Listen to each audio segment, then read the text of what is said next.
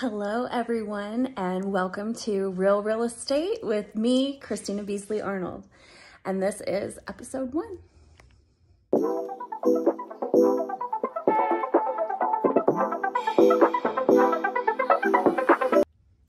So, I get a lot of questions on a daily basis about different things regarding real estate. And one of the biggest questions I get is what does contingent mean?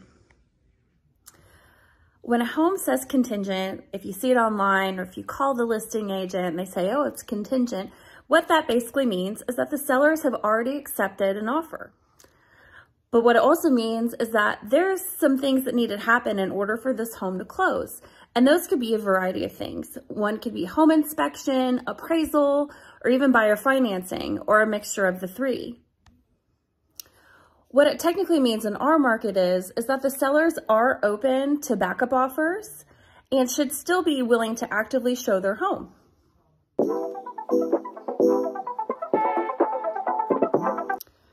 So should you cross off automatically contingent homes off your list? No, but also don't get your hopes up. There are many reasons why a real estate transaction can fall through. And if you are really, really interested in the property, I would consult your realtor and maybe discuss putting in a backup offer.